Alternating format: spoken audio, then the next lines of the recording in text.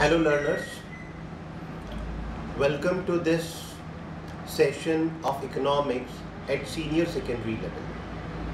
I know when the word economics has come to your mind and when the subject is there and which is a compulsory subject or maybe optional but for future prospects if you want to go for that subject you have terror in your mind.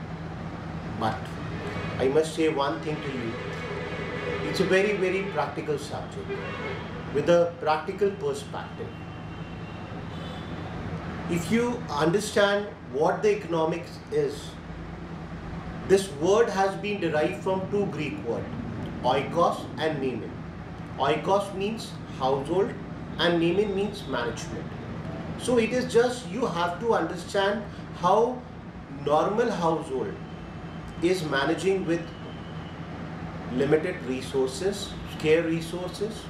For an example, how a middle income group is struggling with his limited income, how he is allocating his limited income on various areas, various needs because see he is having so many desire. Out of so many desire, he is converting his desire into wants and then out of wants he is converting his some wants into demand. Why? Because he has limited income limited resources. If every could uh, had been in abundance then there is no need of choice. He can fulfill all his desire. But because of the limitation he is having choice. So we can also say that economics is a science of choice making. We'll discuss so many things about economics, how it is related to wealth, how it is related to money, how it is related to scarcity, how it is related to choice making, how it is related to dynamic growth and sustainable development.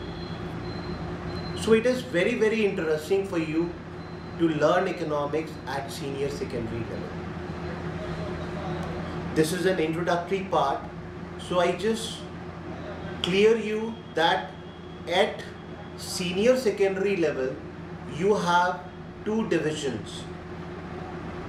Your entire syllabi is, uh, is divided into two areas micro and macroeconomics.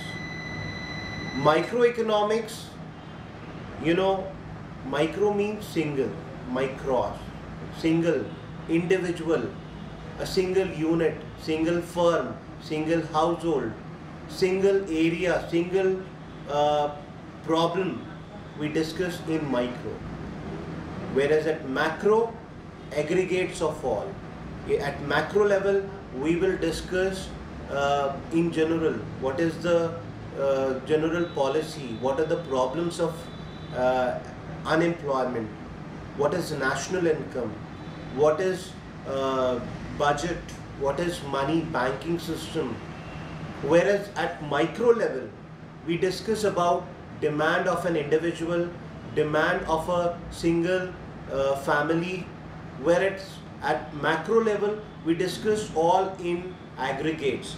Macro level, we talk about causes of business cycle, we talk about interaction of monetary and financial market, we talk about national income, how national income is calculated by various methods. At NIOS, at this level, you have to have some statistical part also, which is very general and scoring also. Like you have central tendency, you have correlation, you have dispersion.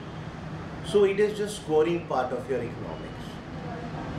Then we have some policy making part also, like we have planning, we have uh, industrial policy, which is in very general. You have we have to have discussion on that. Overall, the complete package is very interesting. It's very interactive, very practical, very pragmatic. You will enjoy if you try to understand, if you go in a very comprehensive way you try to know what is happening see we study economics for a middle income group. Neither we talk about the richer section of the society nor we talk about the poor section of the society. We talk about middle income group because he is only managing with the resources. He is only managing with the limitations. So we'll start with general first introduction chapter in the very beginning. Then we first switch over to micro what is microeconomics. And you know at micro level you learn to understand means it is uh, you, learners will be able to integrate theoretical knowledge with the quantitative and qualitative evidences. And then at macro level we try our best to identify the determinants of various macroeconomic aggregate as output, unemployment, inflation, productivity, and also the major challenges associated with the economy as a whole. So wish you good luck. Be with us. Be the part of this course. Be alert, active, and instrumental in learning everything. Thank you.